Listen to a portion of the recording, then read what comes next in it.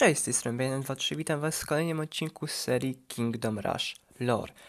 Dziś zapowiada się naprawdę potężny odcinek, ponieważ przyjrzymy się frakcji elfów zmierzchu, e, czyli główny, frakcji głównych antagonistów z gry Kingdom Rush Origins.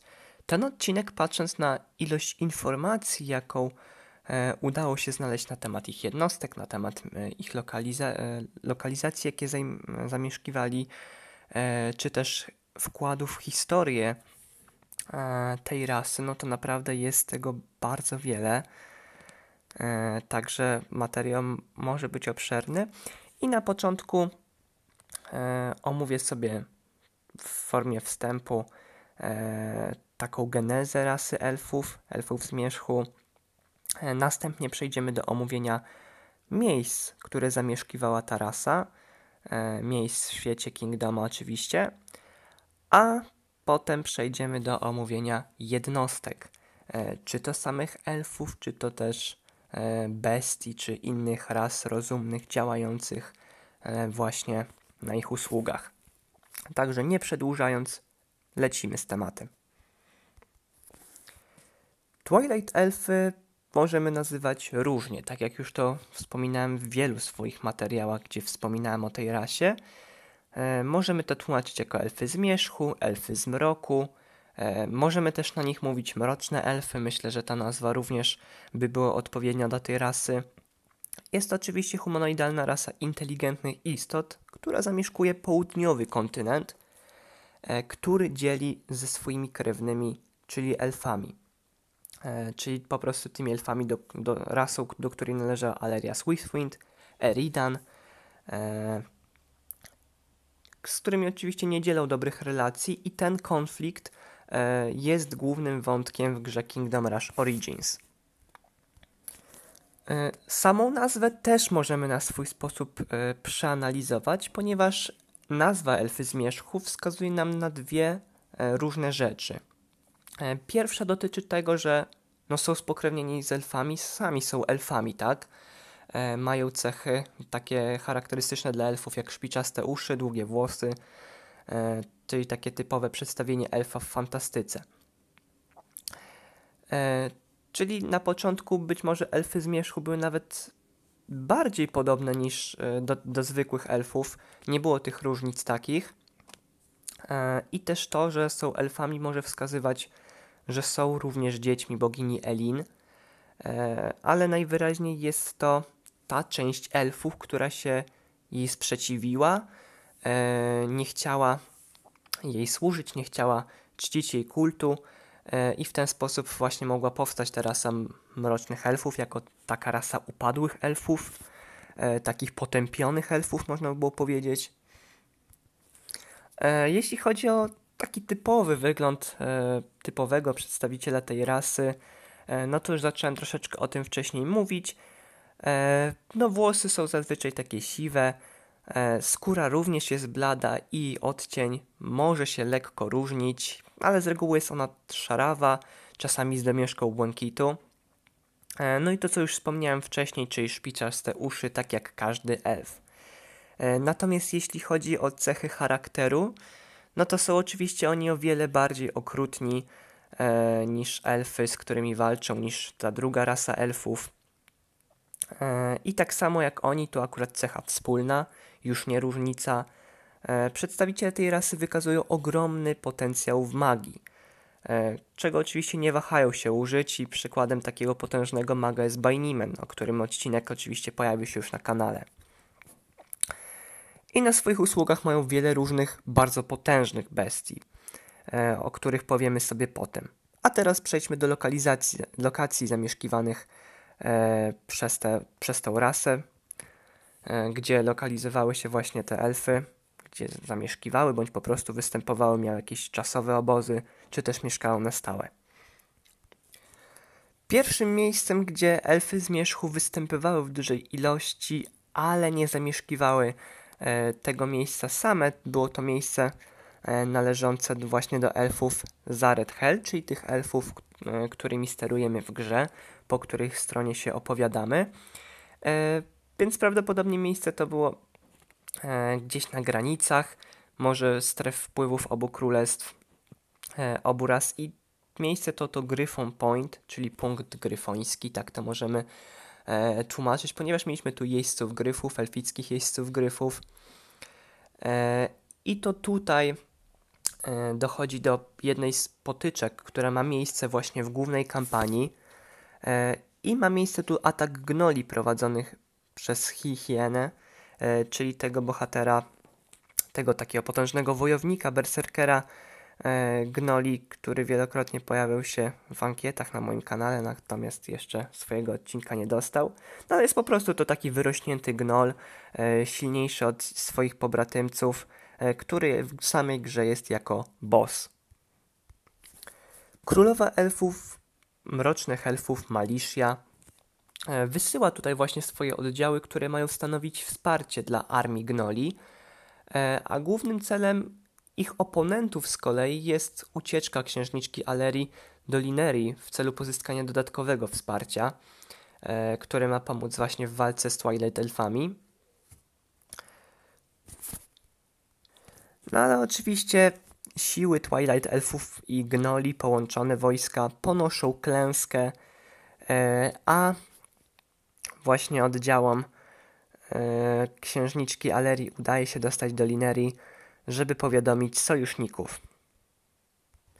Jeśli chodzi natomiast o ciekawostki do tej planszy, do, o ciekawostkę w sumie związaną stricte z grą, to Gryphon Point to pierwszy, ale też dotąd jedyny poziom w serii, gdzie wyjście z mapy, e, wyjście do którego muszą dojść wrogowie, nie znajduje się e, przy żadnej z krawędzi e, ekranu, przy żadnej z krawędzi planszy, natomiast znajduje się na środku pola bitwy.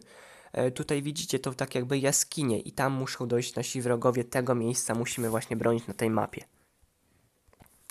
Kolejną lokacją, która już należy do elfów zmierzchu i jest e, na ich terenie, w ich strefie wpływów, jest Rockenge. Co oczywiście jest nawiązaniem do Stone Age, czyli kamiennego kręgu w Anglii, będącego prastarą budowlą. E, No i tutaj oczywiście też mamy takie kamienne budowle różne.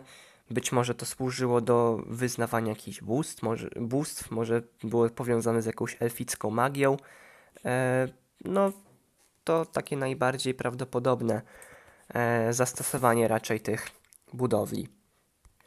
Jeśli chodzi o sam opis tego miejsca, jakie możemy znaleźć, to wygląda on następująco. Wojna trwa. Atakujemy i wycofujemy się, sprawiając, aby najeźdźcy zapłacili wysoką cenę za każdy cel, cal ziemi, jaki im oddamy. Odnośnie Twoich rozkazów, generale, wycofaliśmy się do wróżkowego lasu. Arcydruidzi z Rock Enge będą zawsze byli naszymi sprzymierzeńcami. Jednakże jesteśmy w stanie wyczuć ukryte wrogie spojrzenia podczas przemierzania tego magicznego kraju. E, więc jak widzimy, Rock, en, Rock e, nie zawsze był e, pod władaniem elfów zmierzchu. Należy on wcześniej do arcydruidów, e, jednak został właśnie przejęty przez wojska Malishi. E, runy druidów, które dawały elfom ochronę, zostały zastąpione przerażającym językiem runicznym elfów zmierzchu. E, także tutaj mamy, widzicie, wyparcie tej dawnej kultury na rzecz tej nowej.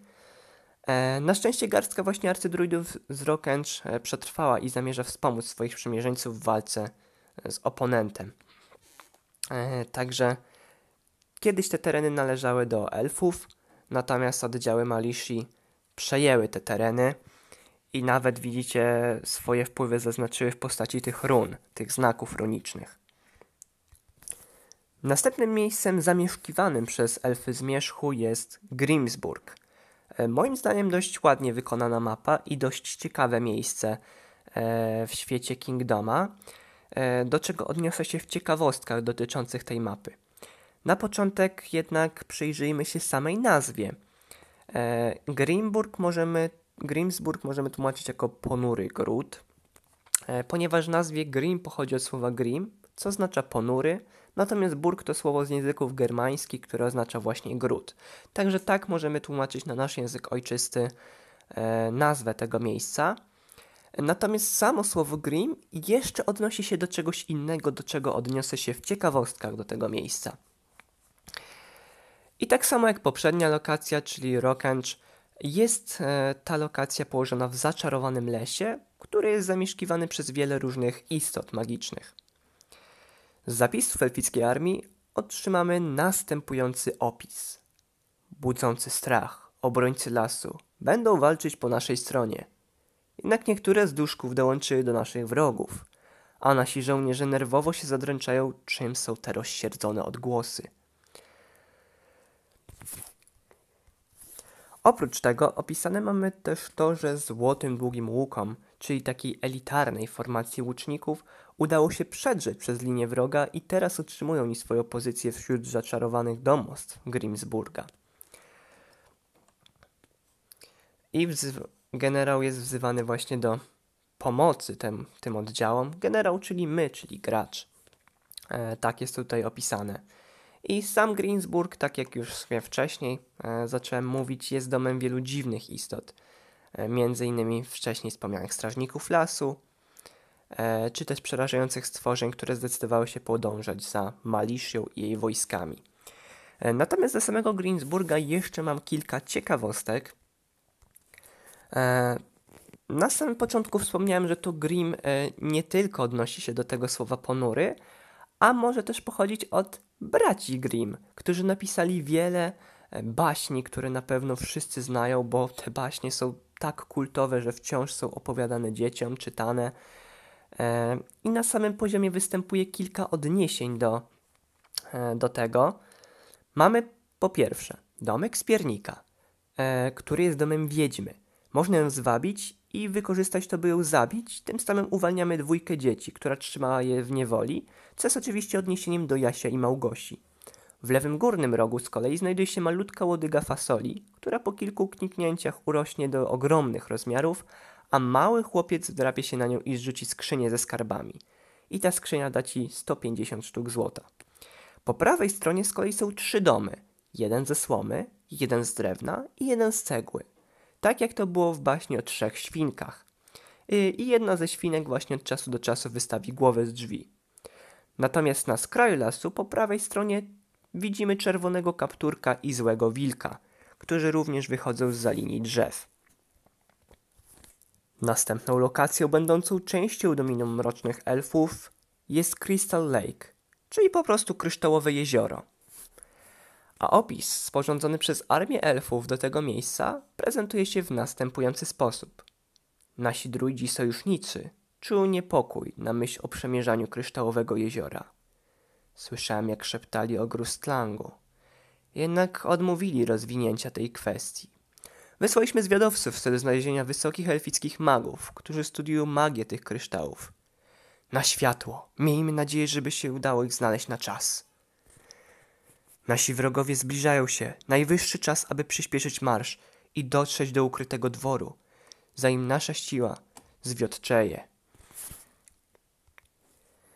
Samo Kryształowe Jezioro jest naprawdę bardzo piękną lokacją, e, malowniczą, ale też i tajemniczą. E, I jest to czyni to miejsce wyjątkowym.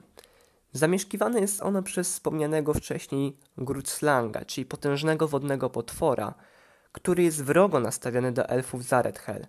Potrafią swoim oddechem krystalizować elementy otoczenia, co okaże się zabójcze podczas starcia nad Kryształowym Jeziorem. E, I sam Grutslang jest e, bezpośrednim nawiązaniem do potwora Grutslangu, według legendarnych opowieści e, właśnie zamieszkujący e, z Afryki Południowej. O takim potworze, który był swego rodzaju wielkim wężem. Ogro właśnie ta legenda mówi, że to jest taka kryptyda, e, ogromna, podobna do węża, ogromne, podobne do węża stworzenie, które właśnie zamieszkuje takie duże jeziora e, i inne zbiorniki wodne i pożąda cennych klejnotów. Czyli tutaj mamy te kryształy piękne e, i ogromne na Crystal Lake, to takich właśnie cennych przedmiotów i klejnotów pożąda taki Grutzlang. E, no jest to niewątpliwie potężne wsparcie dla armii Malishi, natomiast e, nasi elfowie również zyskają tutaj sojuszników, ponieważ na planszy mamy tak zwane wróżkowe smoki. E, takie też specjalne w samej grze wieże, jednostki, wieże, czyli gnia gniazda akurat tych smoków i smoki jako jednostki, e, które właśnie będą wspierały elfy w walce z mrocznymi elfami. Kolejne miejsce to Never Wonder, e, co jest połączeniem angielskich słów never, czyli nigdy, a także wonder, co w tym przypadku może oznaczać cud, coś niesamowitego. E, może to nazwa tego miejsca może oznaczać coś w stylu niecud i może to być e, sarkastycznym określeniem na to jakże dziwne miejsce. E, z kolei sam opis, jaki możemy znaleźć i nadany jest on przez armię elfów, brzmi tak. Chociaż wytrwaliśmy tuziny starć, jesteśmy na skraju porażki. Idziemy naprzód, w stronę Neverwonder, które znajduje się pod protekcją czar drzew. Jeśli te potężne istoty uznają nas jako zagrożenie, zostaniemy zmiażdżeni. Nadszedł czas, by zaryzykować wszystko. Niech Elin ma nas w opiece. E, także no, elfowie, jak widzimy, obawiali się bardzo tego miejsca e, i byli świadomi, że w, tym, w tej dziwnej lokacji coś, e, coś jest nie tak, jest coś niepokojącego. I jest ona zamieszkiwana przez tak zwane czar drzewa, które opiekują się tutejszym lasem e, i są to inteligentne drzewa o wielkiej potędze które są gotowe, aby bronić swój dom przed każdym możliwym zagrożeniem. E, elfowie początkowo obawiali się, czy czar drzewa będą pokojowe do nich nastawione, jednak ostatecznie dołączają one do elfów e, przeciw właśnie innym okropnościom, czy też samym elfom zmierzchu. I tym zagrożeniem, tymi okropnościami, które przyłączyły się do elfów zmierzchu, są różne gatunki rozumnych istot przypominających grzyby, które zasiedlają tą krainę. I do tego miejsca również mam ciekawostki. No jak widzicie mamy tu różne grzybowe domki, co jest oczywiście nawiązaniem do smerfów. Kolejna lokacja to lokacja właśnie, na której kończy się pewien etap kampanii, pewien wątek. E, I jest to Unseelie Court, co możemy przetłumaczyć jako ukryty dwór. I jest to po prostu zamek samej Malishi, samej królowej elfów, e, w którym ona urzęduje, a także wydaje rozkazy swojej armii. I teraz, tak jak do poprzednich miejsc, przytoczę, przytoczę tutaj słowa elfów na temat tego miejsca. Nie ma już nadziei dla elfów. Nie znajdziemy ani bezpiecznej przystani, ani miejsca spoczynku w ukrytym dworze. Nasi wrogowie zajęli pałac, a Maliszia koronowała siebie królową. Jesteśmy mniej uwięzieni, mniej liczni i wycieńczeni. Nie pozostało inne wyjście niż walka do ostatniego tchu. Zanim odejdziemy, uwielbienie Elin. Nadchodzą, generale. To będzie bitwa pamiętana przez wieki. Jak możemy zobaczyć, zauważyć, zamek ten budzi straszliwą grozę wśród elfów, i znajduje się tu też tron, na którym zasiada oczywiście Maliszia, która mianowała się ich królową. I tron ten jest odwołaniem do żelaznego tronu z sagi Pieśń Lodu i Ognia George'a Martina, a także serialowej adaptacji książek, czyli gry o tron. Po pokonaniu z kolei samej Malishi dostajemy achievement Gra o tron, co potwierdza to nawiązanie.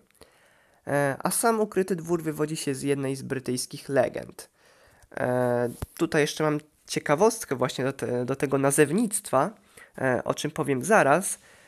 Natomiast jeśli chodzi jeszcze o historię tego miejsca, to gdy Malicia zostaje pokonana, jej ciało zostaje zabrane przez pajęczą królową Mactons, będącą jej sojuszniczką, która zabiera ją do pierwszego elfickiego miasta, czyli do lokacji, których omówimy zaraz.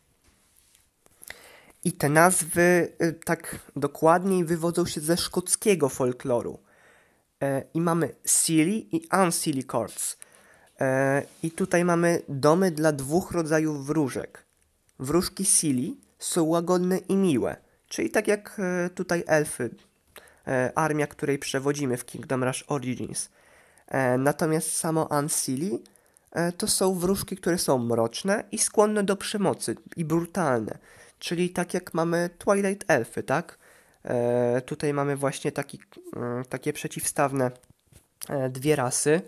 różniące się bardzo od siebie. No i tutaj też w, tym, w tej ciekawostce e, jest do tego nawiązanie.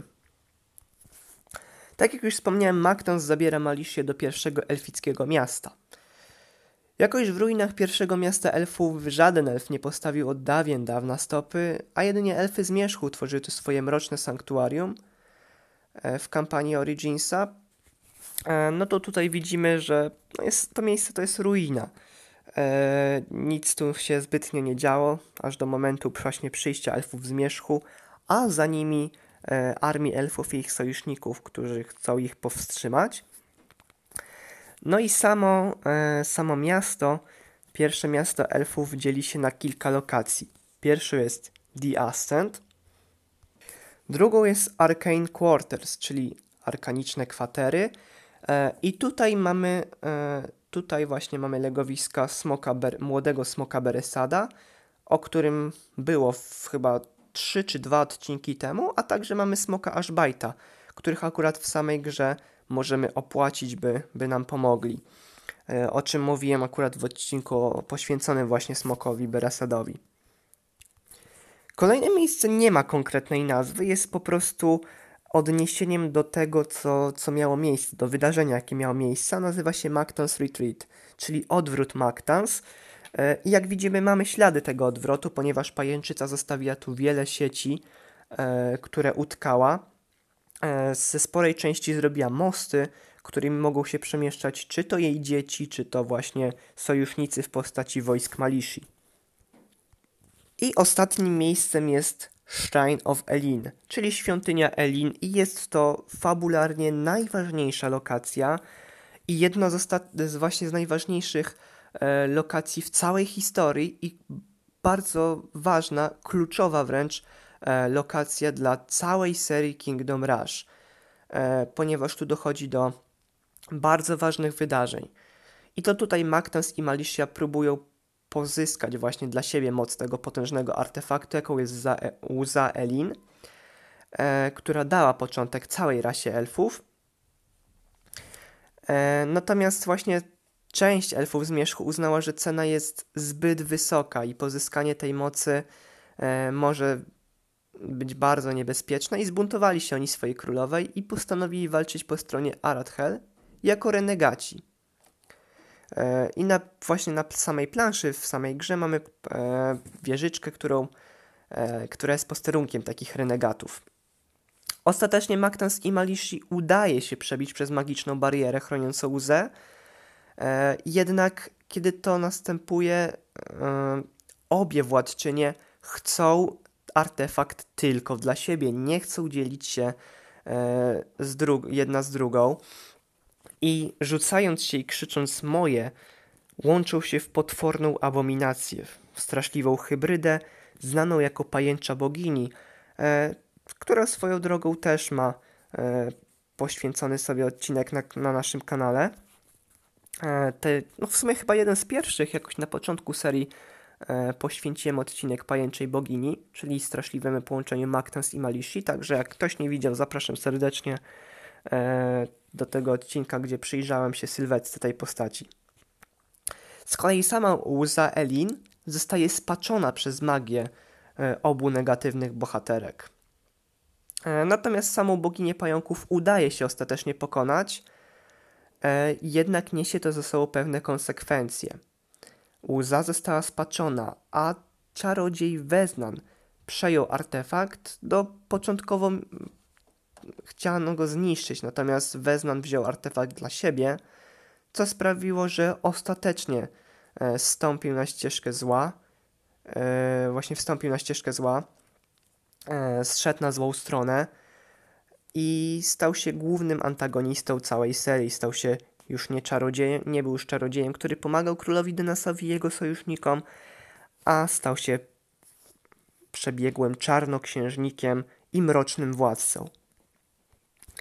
Na koniec omawiania lokacji przejdziemy jeszcze do lokacji z dodatkowej kampanii, gdzie głównym przeciwnikiem, głównym bossem jest Bainyman, e, o którym też był odcinek swoją drogą na kanale, także zapraszam serdecznie.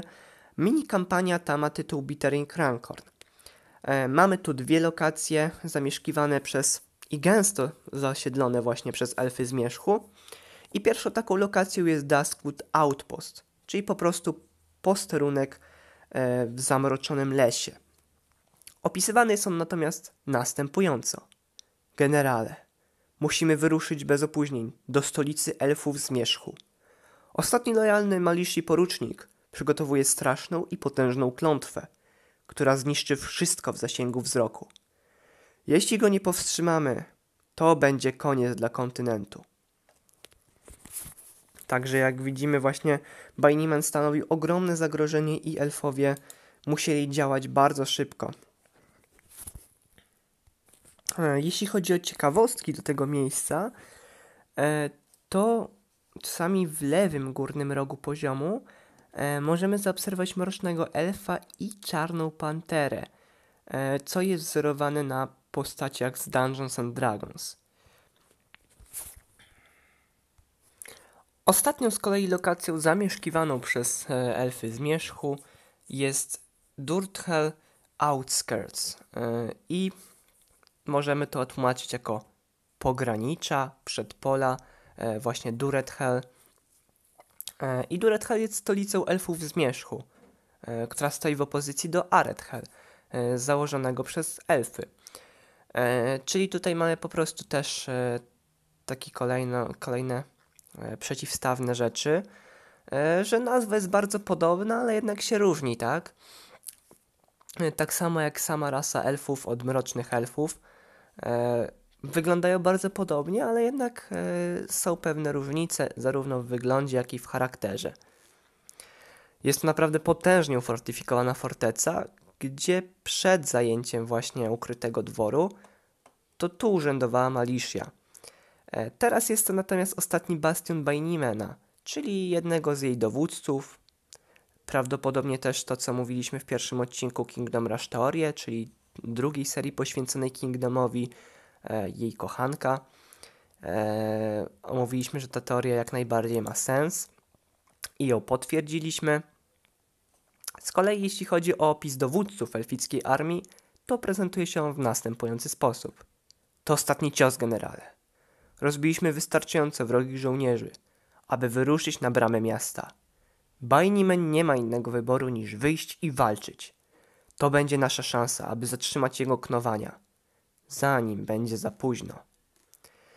No i oczywiście Bajnimen zostaje pokonany, e, a jego plan e, nie zostaje zrealizowany, a zagrożenie ze strony elfów zmierzchu ostatecznie zostaje wyeliminowane e, i antagoniści w postaci tej rasy zostają pokonani. I to wszystkie miejsca, które zamieszkiwane były bądź powiązane silnie z mrocznymi elfami, z elfami zmierzchu. Natomiast przejdziemy teraz standardowo do jednostek. Najpierw omówię e, potwory, bestie e, bądź rasy rozumne, które były na usługach Malishi e, i jej armii, wspierały ją po prostu. Natomiast potem przejdziemy już do samych elfów zmierzchu, do ich klas, tak jakby przyjrzymy się różnym wojownikom, magom, jeźdźcom i tak dalej, i tak należącym do rasy właśnie bezpośrednio elfów zmierzchu. Na początek, tak jak mówiłem, zaczniemy od omówienia e, różnych ras, które działały w armii Malishi, działały w armii Mrocznych Elfów, e, a dopiero potem przejdziemy do samych Mrocznych Elfów. No, pająki były mocno powiązane z samą Malisią i też samymi elfami zmierzchu, e, także tutaj różne jakieś pająki czy pomioty Mactans E, jak najbardziej znajdą się w tym materiale i dlatego no z racji, że te dwie rasy były bardzo sobą związane, a jeszcze po e, spaczeniu łzy Elin e, to powstały różne rasy takie jak Drider e, i czy powstała też sama pajęcza bogini, także to ten związek między rasami był jeszcze silniejszy. I pierwszą taką jednostką jest Sword Spider, czyli pająk ostrzy. I są to wielkie pająki zamieszkujące właśnie południowy kontynent, i są oczywiście odległymi kuzynami pająków z północnego kontynentu, czyli tych, które znamy z Kingdom Rush i z Kingdom Rush e, Frontiers. Są one czarnej barwy, posiadają ostre odnóża, a nad wokół mają czerwoną plamę. E, także tak się prezentują te stwory. Kolejną jednostką jest satyr cutthroat, czyli możemy to tłumaczyć jako taki satyr rzezimieszek. E, I są to przedstawiciele oczywiście rasy satyrów, posiadają brodę, a także właśnie owłosione nogi z kopytami, tak jak kozy.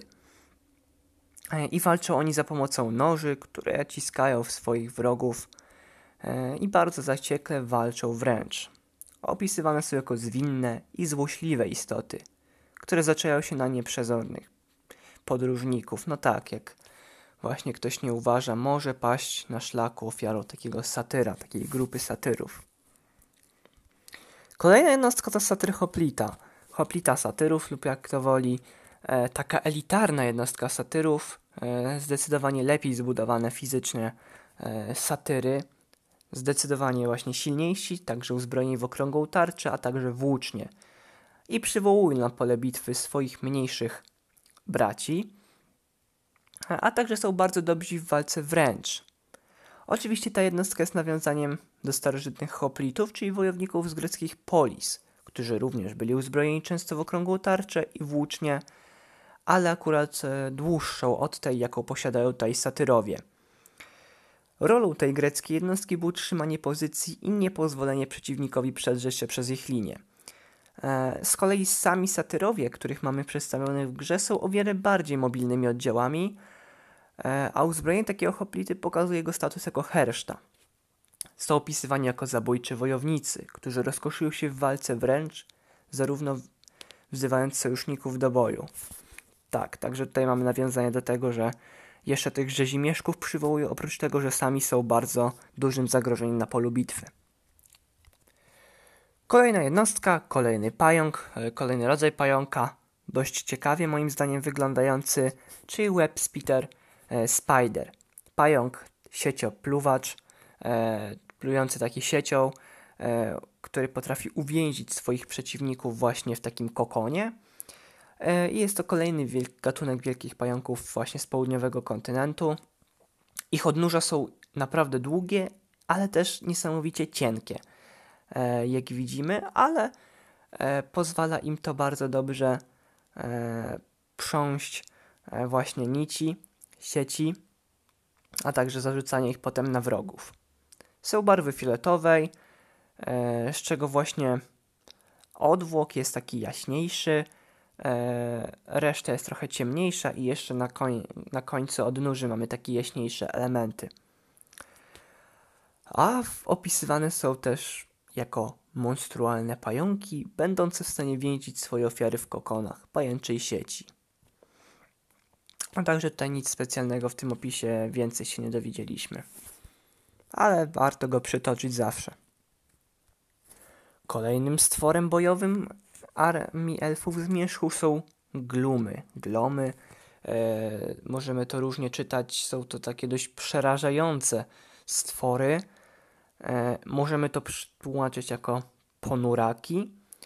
E, jest to połączenie takich istot wróżkowych z muchami, także mamy tu taką kolejną potworną abominację, hybrydę. E, są szarej barwy, posiadają oczywiście skrzydła, tak jak mucha, e, czy też wróżka nawet.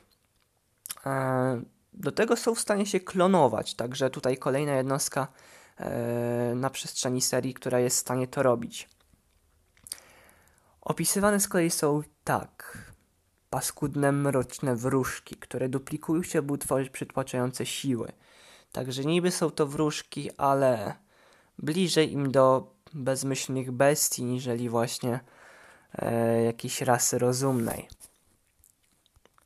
Kolejna jednostka jest to naprawdę bardzo potężna jednostka.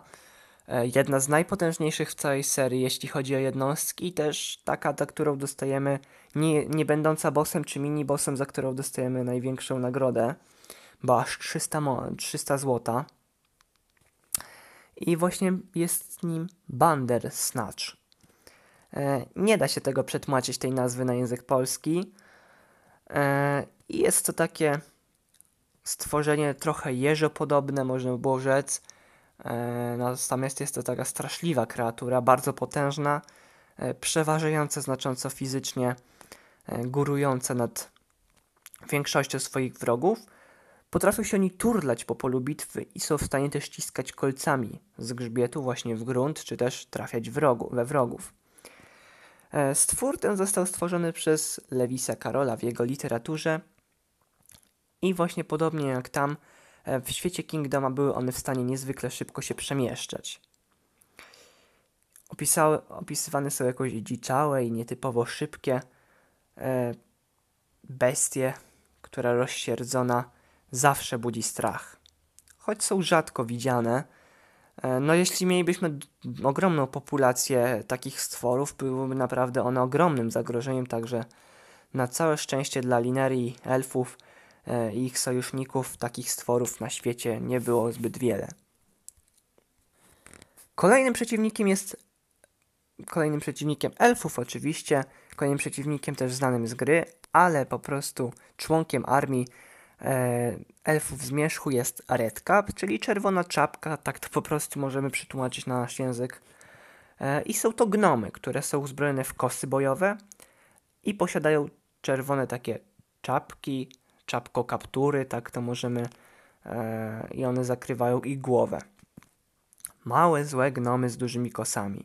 Żyją w dreszczu krwawego boju. Tak jest do nich e, dopisek. No i tutaj właściwie to taka jednostka raczej wsparcia, bardziej bym powiedział, e, niżeli jakiś taka, co może w pierwszej linii walczyć. No i teraz przechodzimy do dość ciekawej grupy, moim zdaniem, osobistym, e, czyli do grupy takich e, zwierząt, znaczy w sumie nie wiem, czy to zwierzęta, no po prostu stworzeń przypominających chodzące grzyby, będących chodzącymi grzybami. Y, tu akurat najmniej złożona forma takiego stworzenia, czyli boomshroom. Swoją drogą śmieszna nazwa troszkę, ale dobrze opisująca to, co to stworzenie robi. Po prostu wybuchowy grzyb. Y, istota przypominająca grzyba, która wybucha w wyniku śmierci. Oczywiście uśmiercając wrogów czyli podchodzi do wroga, by go uśmiercić z wybuchem, samemu też ginąc. Czyli trochę jak Creeper w Minecrafcie. Myślę, że to, to jest dobre porównanie, jeśli chodzi o styl walki. Opisywana jest jako wielce niestabilna kombinacja grzyba, która wybucha w wypadku zagrożenia. No tak.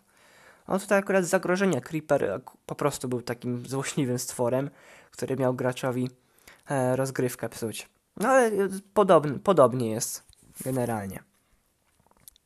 Kolejną już bardziej złożoną istotą, jak widzimy, posiadającą oczy, e, a także prawdopodobnie e, jakiś otwór gębowy, jest Munchroom, e, co przetłumaczyć możemy jako kruszący grzyb. I jest to kolejny gatunek takich grzybów, zamieszkujący oczywiście Neverwonder, tą dziwną krainę, którą omawialiśmy wcześniej. I w wyniku śmierci rozpada się dodatkowo jeszcze na te wybuchowe grzyby. Wielkie grzyby będące w stanie kruszyć zarówno pancerz, jak i kości. Tak o tych stworzeniach właśnie mówiono. Kolejna, najbardziej elitarna jednostka, e, jak widzimy ujeżdżana przez gnoma. E, największy grzyb, e, najstraszliwszy, też posiadający otwór gębowy i paszcz, właśnie taką paszczę i oczy, parę oczu, czyli fungus breeder, czyli właśnie rozmnażacz grzybów, grzybiczny rozmnażacz. I są to właśnie ogromne grzyby, które ujeżdżane są przez gnoma, które w wyniku śmierci rozpadają się na kruszące grzyby. No jak wiemy, kruszące grzyby w wyniku śmierci rozpadają się jeszcze na e, wybuchające grzyby, także takie naj, najbardziej złożone stadium, można byłoby powiedzieć. E, dodatkowo jeździec grzyba jest w stanie przemieniać wybuchowe grzyby w kruszące grzyby, czyli wzmacniając je wzmacnia cię. Wędrujący władcy grzybów, infekujący ziemię swoimi zarodnikami. Tak są opisywani, opisywane te jednostki, tak opisywane są te stwory. No, grzyby infekujące ziemię swoimi zarodnikami, trochę jak w The Last of Us. Tam też mieliśmy grzyba, który właśnie roznosił się za pomocą tych zarodników. No ale oczywiście Kingdom Origins powstał chyba 3 lata wcześniej niż The Last of Us, także tutaj nie ma żadnego nawiązania, tylko po prostu jest to takie moje skojarzenie, bo ostatnio drugą część akurat przeszedłem. Kolejną taką naprawdę elitarną jednostką i bardzo silną jest Razor Boar, co można przetłumaczyć jako taki brzytwodzik Jest to po prostu ogromny dzik uzbrojony w bardzo potężną parę kłów, e, które zostały ujarzmione przez potęgę elfów zmierzchu w pierwszym mieście. W pierwszym mieście elfów właśnie. E, kły takiego dzika przebiją nawet najtwardszą zbroję i w wyniku zderzenia powodują wyzwolenie ciepła i iskry. Także no, przed szarżą takiego dzika, nawet jak widzimy, najlepsza zbroja może nas nie uchronić. E, szarża jest śmiertelna. A dodatkowo jeszcze, jak taki dzik otrzymuje obrażenia, staje się jeszcze bardziej zaciekły, także taki szał bojowy wpada to stworzenie. Opisywane są tak. Te dzikie knury mają okropny temperament i lubują się w szarżach, paląc każdego na swojej drodze. O tak, także jak widzimy, bardzo potężne bestie bojowe. Kolejną równie albo nawet i silniejszą jednostką jest Twilight Golem, czyli golem zmierzchu. I są to golemy powstałe z kamienia i magii, właśnie używanej przez Twilight Elfy. Lewitują one lekko nad ziemią, a ich uderzenie w ziemię może okazać się zabójcze dla wszystkich znajdujących się w pobliżu. Mają one jednak pewną słabość, bo w wyniku otrzymywania obrażeń stają się one coraz wolniejsze. Także tutaj, e, jak widzimy, taki golem ma spory minus w postaci e, takiego działania. Opisywane są tak. Kamienie wprawione w ruch przez potężną magię. Zmuszony do walki ze zniechęcającą siłą. Także jak widzimy, kolejna taka potężny, kolejny taki potężny e, stwór, e, kolejna taka potężna istota, tym razem magiczna, e, nasz w szeregach właśnie elfów zmierzchu. Kolejna jednostka, też dość ciekawa, naprawdę z ładnym designem, to Cloud Stalker, czyli taki chmurowy prześladowca, prześladowca chmur. E, może byśmy to mogli nawet tłumaczyć jako podniebny prześladowca, e, bo jest to jednostka latająca, e, która też zamieszkuje pierwsze miasto elfów. E, przypomina to latające płaszczki. E, na myśl może przychodzić skojarzenie z Fantomem z Minecrafta. Natomiast e, chyba tak, nawet nie chyba, na pewno. Ta aktualizacja, która dodaje fantomy do Minecrafta, wyszła dużo, dużo później niż Kingdom Rush Origins.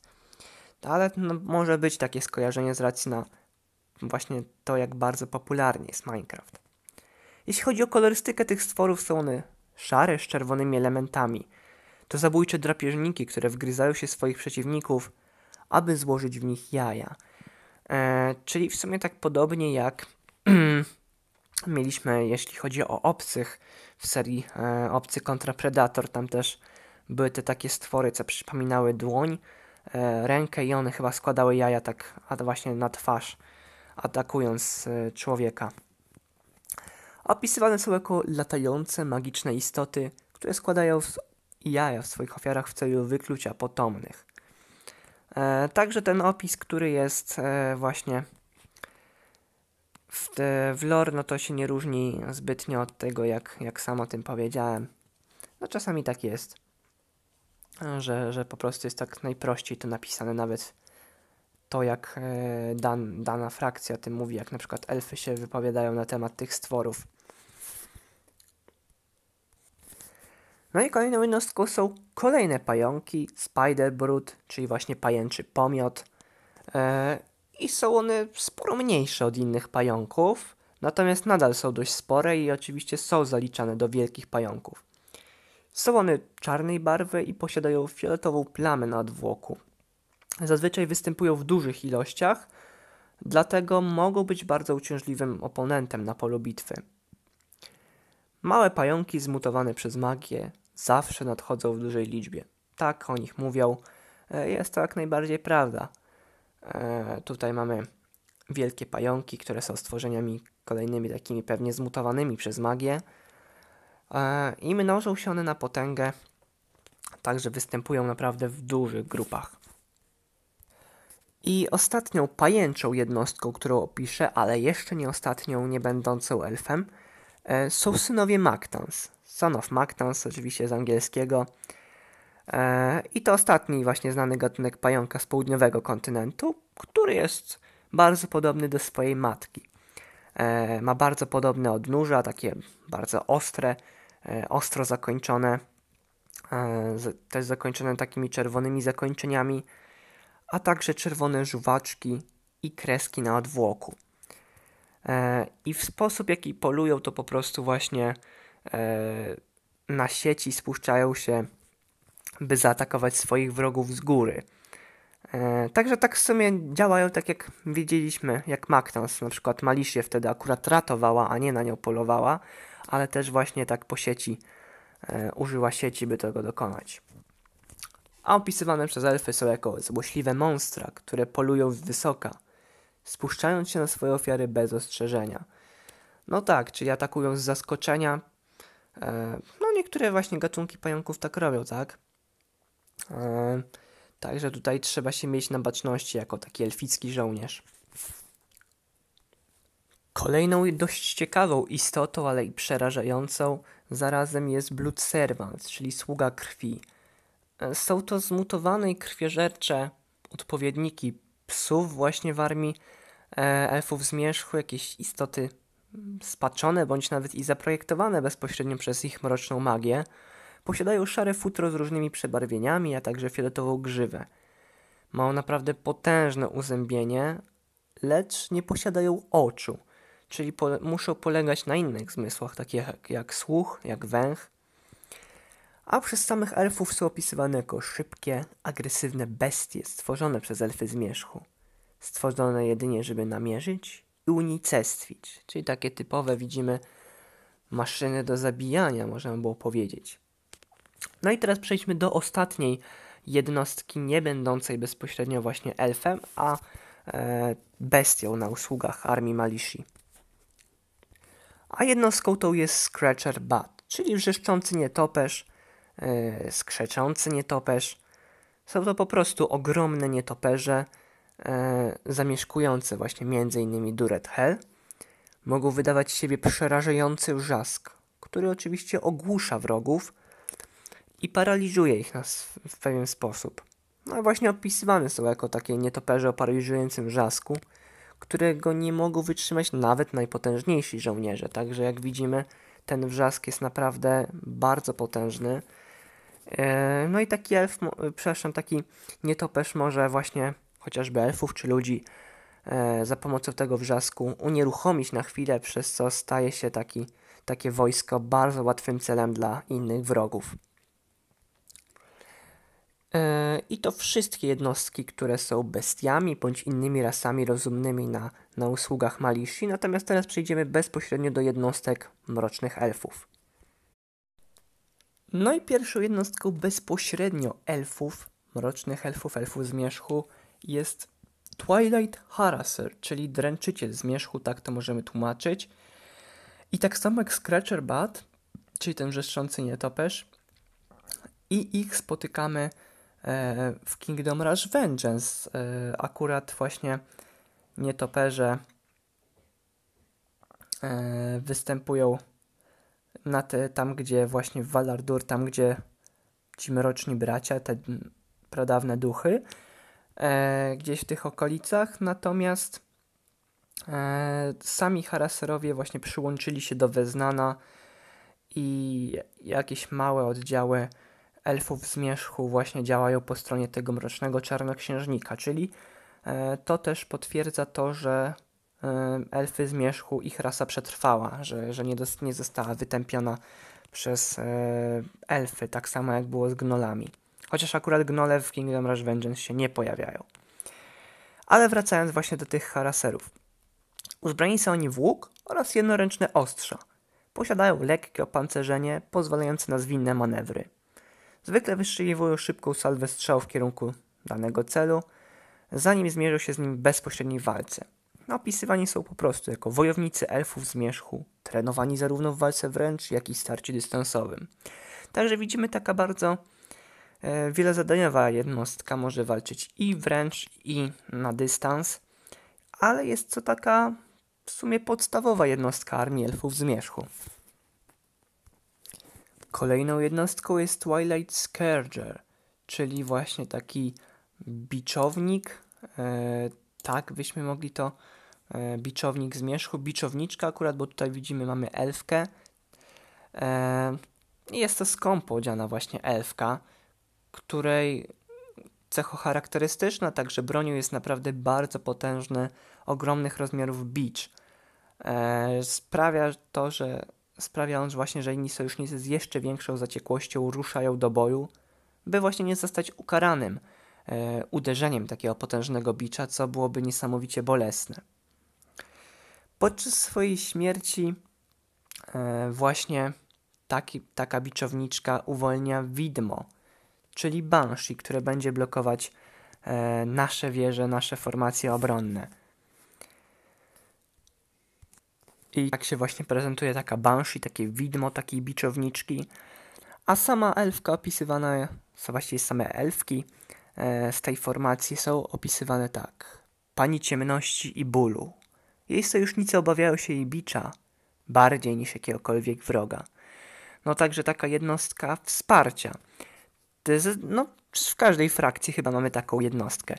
U troli mieliśmy tego właśnie trolla czempiona, który tam e, chyba grał na bębnie, tak? Czy coś? Czy jakoś tam po prostu pieśnią bojową zagrzewał swoich sojuszników do walki.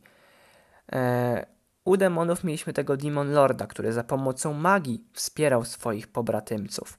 Natomiast tu mamy właśnie biczowniczkę zmierzchu, która w jeszcze inny sposób motywuje swoich sojuszników do działania. Także w każdej frakcji chyba mamy takiego właśnie, taką postać. Kolejna jednostka to już tacy silniejsi wojownicy, posiadający miecz i tarczę, e, a zwani są Twilight Avenger, czyli mściciele zmierzchu, bezlitośni, ciężko opancerzeni. E, zaklinają oni wszystkich swoich sojuszników, e, a ci, którzy nie są elfami zmierzchu, klątwą wybuchu, która sprawia, że zaklęci sojusznicy eksplodują w wypadku śmierci, oczywiście zadając obrażenia swoim własnym sojusznikom. I ta eksplozja to jest po prostu sprawka magii oczywiście i rani wszystkie istoty, które nie są elfami zmierzchu. E, ale oprócz tego też e, potrafi zranić Rexona, Lin czy renegatów, którzy niby są elfami zmierzchu, ale jednak walczą po przeciwnej stronie barykady, także dość ciekawe. Opisywani są po prostu jako Elita pancerzonych wojowników zmierzchu zaklinają słabsze istoty czarem wybuchu. Także tutaj jednostka niby do walki wręcz, ale jednak wspierana przez magię. Kolejna jednostka moim zdaniem bardzo ciekawa, bardzo yy, fajny pomysł. Nie jest to jednostka, którą się tak bezpośrednio mierzymy i występuje tylko na jednej planszy w jednym miejscu, jakim jest ukryty dwór. Zialot, taka fanatyczka, kultystka, są ubrani oni w ciemne szaty, mogą przypominać troszeczkę właśnie mrocznych akolitów z Warcrafta. E, I ich jedynym celem jest przyzwanie sojuszników poprzez kręgi rytualne występujące właśnie e, w pałacu Malishi. Takie wezwanie wykorzystuje całą ich energię życiową, co sprawia, że po takim rytuale najzwyczajniej giną. Także no, naprawdę ciekawa, ciekawy koncept. No i właśnie akolici też potrafili się poświęcić, tylko że tutaj akurat e, tacy fanatycy elficcy się poświęcają, by przywołać e, oddziały na pole bitwy, natomiast akolici potrafili się zmienić w ten cień, który był szpiegiem. Kolejna jednostka, też jednostka magiczna, e, Twilight Evoker, e, wywoływacz zmierzchu, są to elfki ubrane właśnie w takie czerwone szaty, które leczą swoich sojuszników, e, a także mogą blokować e, fortyfikacje obronne wroga. E, dodatkowo walczą też magicznymi atakami zarówno z dystansu, jak i w bliskim starciu. Także tutaj mamy takie kolejne jednostki magów, takie czarodziejki, które leczą też sojusznicze jednostki, także można powiedzieć, że też i dodatkowo jednostka wsparcia opisywane są jako czarownice oddane bogini pająków. Są tak czczone jak obawiane, także no, to fajna, ciekawa jednostka. A kolejna jednostka, którą mówię, również będzie dość ciekawą. A jest to Twilight Heretic, czyli heretyk zmierzchu. Ubrani są tuż z kolei elfowie w ciemne szaty, a także posiadają laskę, która jest zakończona rogatą czaszką. Heretycy są w stanie korzystać z tak zwanego uścisku cienia. Sprawia on, że pobliscy żołnierze stają się nieruchomi na pewien czas. Innym z kolei czarem jest tak zwana konsumpcja duszy, która sprawia, że heretyk natychmiastowo zabija do trzech wrogów, wysysając ich duszę, co go przyspiesza. Eee, także naprawdę też tutaj mamy taką mroczną magię. Tacy czarnoksiężnicy omiotani przez zło, władający mocami poza zrozumieniem. Tak, tutaj naprawdę też ciekawa jednostka, także widzimy jak potężna jest arm, y, właśnie jak potężna jest magia. Armia swoją drogą też, ale jak potężna jest magia elfów z Mierzchu. I przejdźmy do kolejnej jednostki, która też jest swego rodzaju magiem. A jest to Arachnomancer, Arachnomanta e, i są to magowie elfów z Mierzchu, którzy specjalizują się właśnie w rozmnażaniu pająków. E, ubrani są oni w czarno-fioletowe szaty i przyzywają właśnie na pole bitwy e, pająki takie jak pajęczy pomiot, pająki ostrzy, czy nawet synów Maktans. Opisywani są jako obłąkani elfowie zmierzchu, którzy rozmnażają i dowodzą hordami pająków. No moim zdaniem bardzo ciekawa e, gałąź magii, bardzo ciekawa jednostka, bardzo fajny pomysł i to kolejna rzecz pokazująca jak silny był związek wielkich pająków z elfami zmierzchu. A kolejna jednostka, czyli ta, to chyba najbardziej obrazująca e, siłę sojuszu wielkich pająków z elfami zmierzchu, a jest to Drider. E, nazwy tej na, na nasz język e, nie da się prze, właśnie przetłumaczyć, ale możemy to, tak jak już zacząłem mówić, e, tą jednostkę też jakby rozumieć jako przypieczętowanie Unii pomiędzy wielkimi pająkami pod przywództwem ich królowej Maktans, a elfów, elfami zmierzchu pod przywództwem oczywiście ich królowej Malishi. No i właśnie te istoty są półpająkami, a półelfami, także naprawdę tutaj straszliwa hybryda, taka abominacja, która potrafi zatruwać wrogich żołnierzy.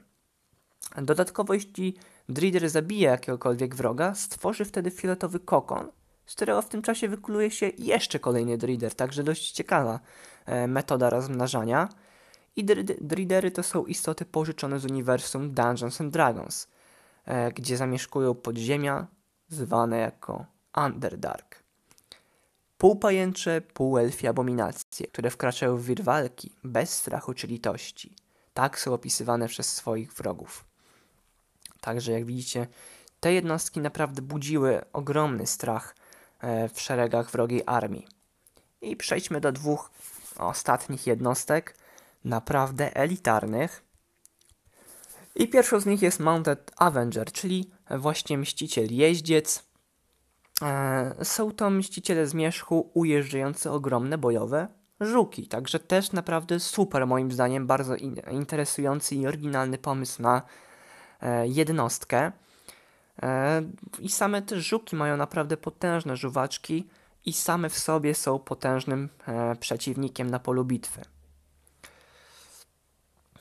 I naprawdę też fajna jednostka, taka elitarna, jeśli chodzi o elfy zmierzchu. A teraz przejdziemy jeszcze do jeszcze mocniejszej jednostki, takiej elity nad elitami, najsilniejszej jednostki, jaka działała w szeregach właśnie elfów zmierzchu. A tą jednostką jest Twilight Brute, czyli właśnie taki e, brutal zmierzchu, tak to możemy tłumaczyć. E, jest naprawdę potężny, m, ogromnych rozmiarów elf, który walczy, walczy śmiercionośnymi E, hakami. E, I dodatkowo jeszcze, by przerażać swoich wrogów na polu bitwy, nosi straszliwą maskę, e, która zakrywa jego twarz. Opisywani są jako wzmocniony potężną magią elf zmierzchu, to niebezpieczna, żywa broń oblężnicza. No, takie rozmiary pozwalają właśnie być taką żywą bronią oblężniczą, bo Twilight Brute to prawdziwa bestia. E, i na pewno byłby w stanie nawet wyważyć taką bramę zamkową. E, no wielkościowo są jak jakieś ogry czy trole, także e, naprawdę potężne jednostki. Natomiast jeśli chodzi o same takie ciekawostki związane z tą jednostką, to Twilight Brood mają najwyższe podstawowe obrażenia ze wszystkich mini-bossów w serii. E, dodatkowo Twilight Brood jest bardzo podobny do Demona Capry, czyli bossa z pierwszej gry Dark Souls, z pierwszej części tej gry. I jeśli chodzi o jednostki, to wszystko, co miałem do powiedzenia. Natomiast jeszcze na koniec, tak jak z każdą rasą, przejdziemy do takich e, znanych członków, też najważniejszych w sumie przedstawicieli tej rasy. E, tutaj będzie jedna taka, e, może wyjątkowa dla tej rasy rzecz, e, ale o tym zaraz, o tym zaraz powiem. Na koniec jeszcze też powiem, że nie będziemy omawiać ankiety, ponieważ robiliśmy to w odcinku poświęconym demonom. Także przechodzimy jeszcze do znanych przedstawicieli tej rasy i tym akcentem wtedy zakończymy.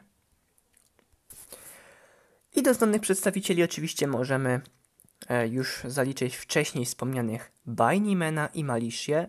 Malisia była królową elfów zmierzchu, natomiast sam Bainimen e, był właśnie e, porucznikiem najbardziej lojalnym wobec Malishi, e, prawdopodobnie też to, co ustaliśmy w teorii, e, jej kochankiem. Zauważy, zauważycie też pewnie, że dałem tutaj pajęczycę Maktans i tak można pomyśleć, okej, ale to nie jest elfka, to jest pajęczyca, to jest inna rasa, tak, ale właśnie tak jak wspominałem w poprzednich częściach, zobaczcie jak silny e, był związek między wielkimi pająkami a elfami zmierzchu.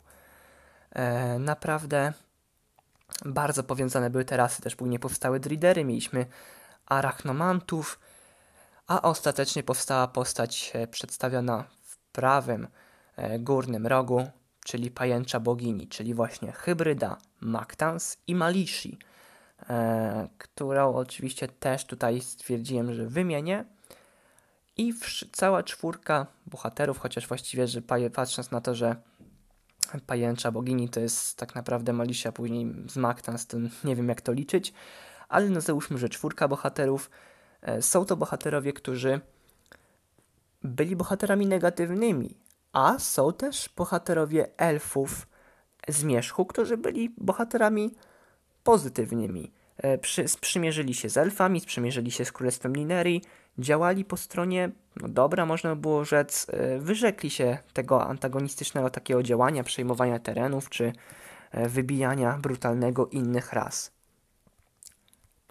A tymi bohaterami są Rexon, czyli prawowity dziedzic tronu e, mrocznych elfów, elfów zmierzchu.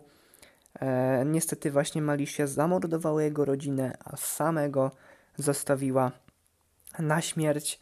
Natomiast Rexon przeżył i teraz szuka zemsty, dlatego przymierzył, sprzymierzył się z przeciwnikami swojej rasy e, i działa po drugiej stronie.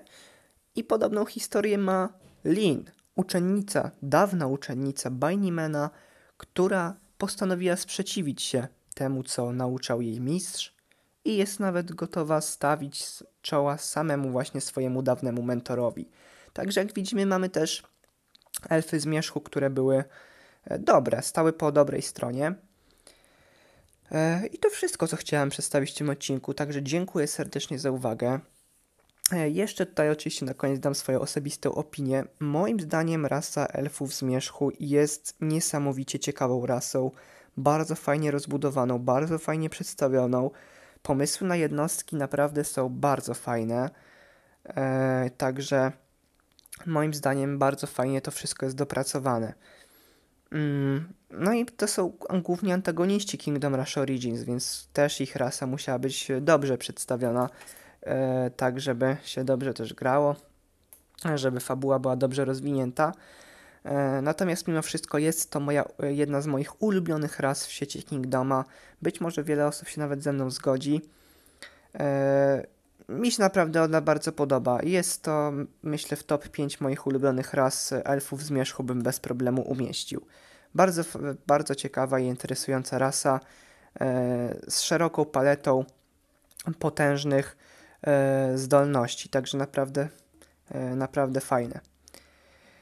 I jeszcze zanim zakończymy, zanim się z Wami pożegnam, chciałbym serdecznie podziękować Elanowi z kanału Elan Enish, który znacząco pomógł mi w realizacji tego odcinka, e, w robieniu researchu, e, właśnie szukania informacji na temat różnych rzeczy związanych z elfami zmierzchu. I to dzięki niemu w sumie ten materiał powstał sporo wcześniej niż mógłby powstać, gdybym e, sam się musiał za to wszystko wziąć i sam to wszystko ogarnąć. Także wielkie podziękowania dla niego. I ja dziękuję Wam za uwagę, za wysłuchanie mnie, za obejrzenie tego materiału. Mam nadzieję, że Wam się spodobał. E, Słyszymy się w kolejnym, także trzymajcie się, do usłyszenia, no i cześć!